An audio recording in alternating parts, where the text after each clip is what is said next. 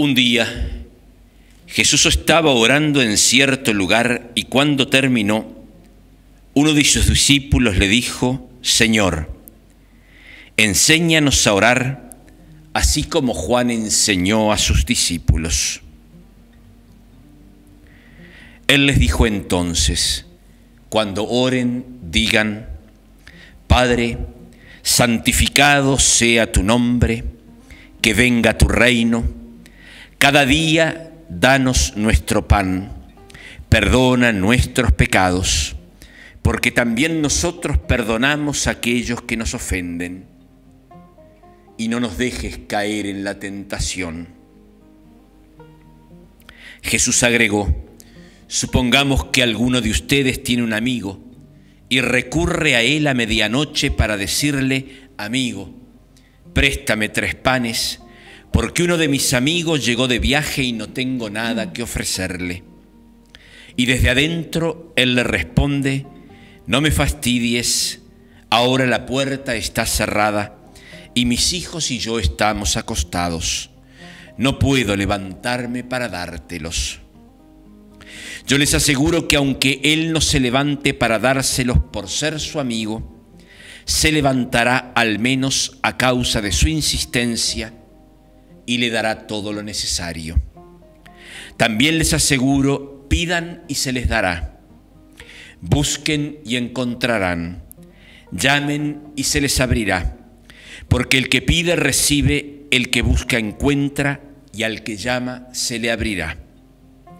¿Hay entre ustedes algún padre que da a su hijo una serpiente cuando le pide un pescado? Y si le pide un huevo, le dará un escorpión. Si ustedes que son malos saben dar cosas buenas a sus hijos, cuánto más el Padre del Cielo dará el Espíritu Santo a aquellos que se lo pidan. Palabra del Señor. Gloria a ti, Señor Jesús.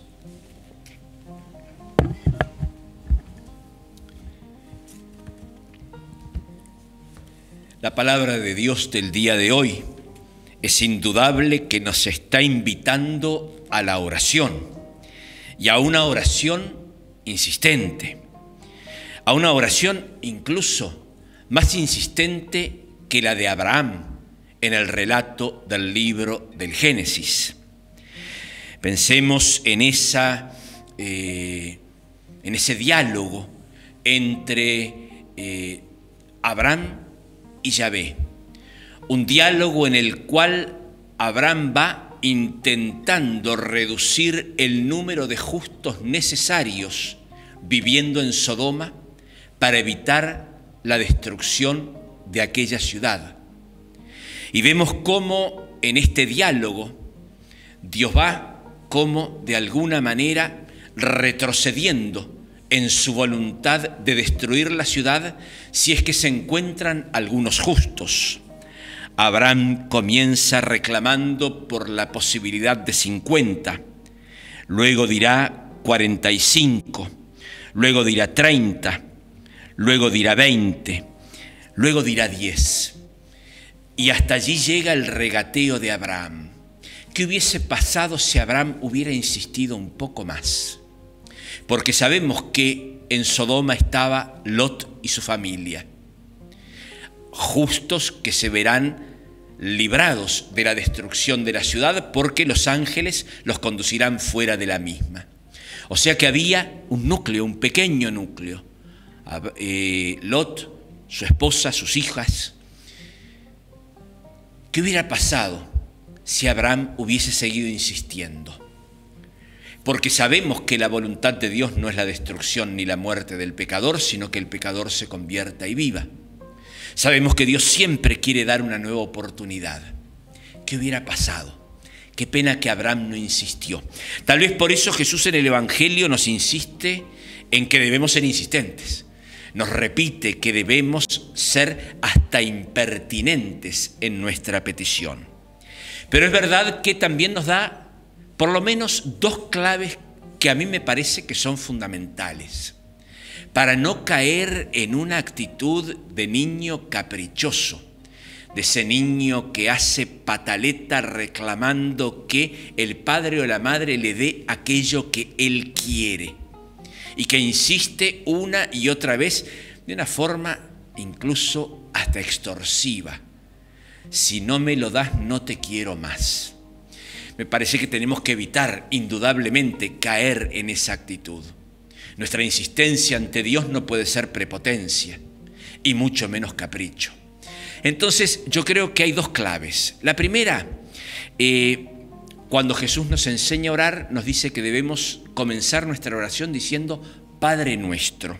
Y termina, no el Padre nuestro, sino el relato posterior, diciéndonos que si nosotros que somos malos sabemos dar cosas buenas a nuestros hijos, cuánto más el Padre del cielo nos dará el Espíritu Santo a quienes lo pidamos.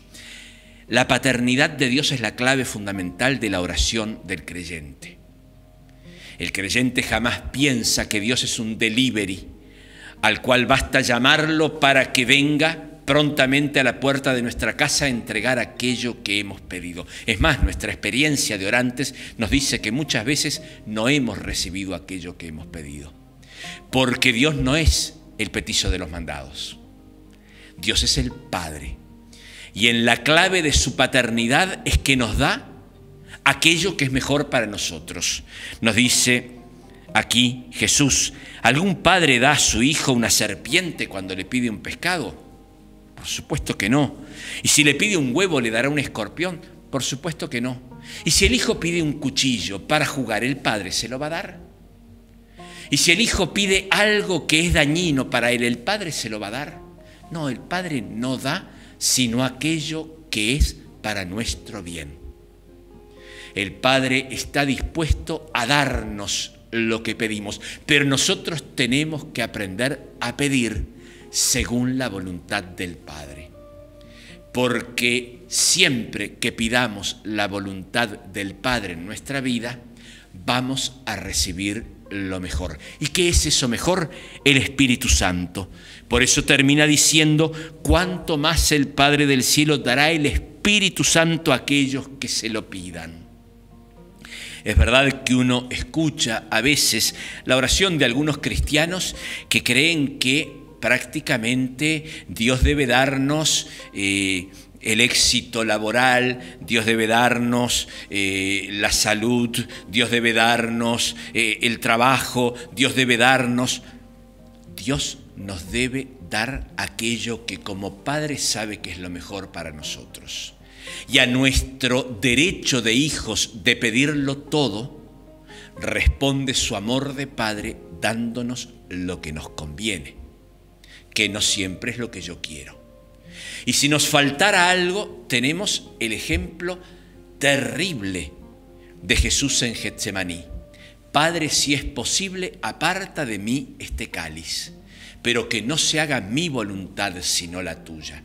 Y sabemos que se hace la voluntad del Padre, que es también la voluntad del Hijo porque el Hijo quiere obedecer lo que el Padre quiere, aunque no lo entienda, aunque le sea un trago amargo. El Hijo quiere cumplir la voluntad del Padre porque sabe que en la voluntad del Padre está lo mejor, siempre lo mejor. Así que hoy le vamos a pedir al Señor que nos regale aprender a orar. Primero, la perseverancia y la insistencia en la oración. Segundo, una oración de hijos ante el Padre. Y tercero, una oración que sabe pedir lo mejor, el Espíritu Santo, lo mejor, que se haga en mi vida tu voluntad.